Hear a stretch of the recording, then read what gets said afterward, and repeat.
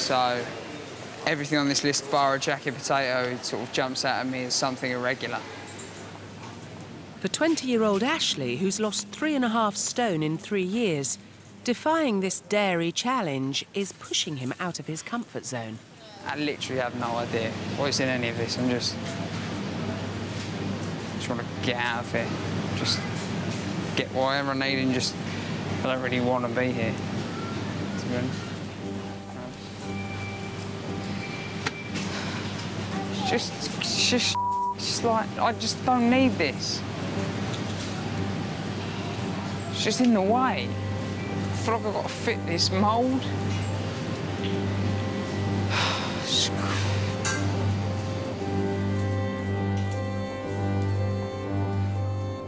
Living with someone with anorexia, I think, a bit like uh, watching, you know, someone you love or whatever behind a big pane of glass. And you're watching them slowly destroy themselves, and you can't do anything to change it. You're forced to watch it. And nothing you say makes sense to them, but it's so frustrating. I need to do it, but it's, I'm literally only doing it just because I know that I should. I don't even...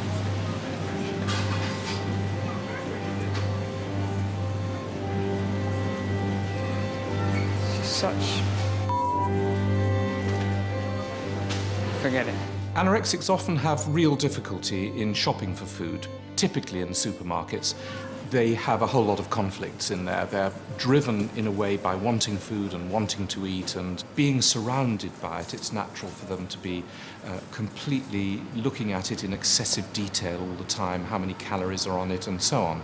And at the same time, they're actually terrified to eat it and then the foods themselves are identified as frightening, and even going near them, picking them up, touching them, and so on, um, becomes quite a scary thing for some of them, and they will just keep away from them and not even go and venture close to it.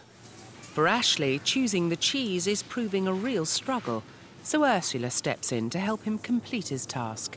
What I'm wondering is, can we look at you choosing something different for your toppings, so something that's not cheese, if that's easier?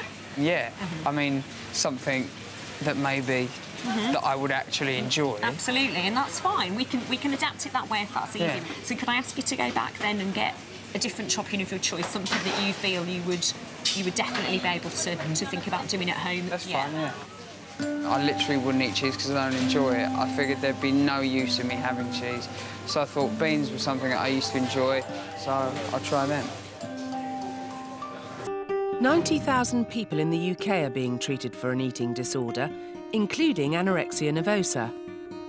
Ashley, Morag, Roz and Fiona are anorexic.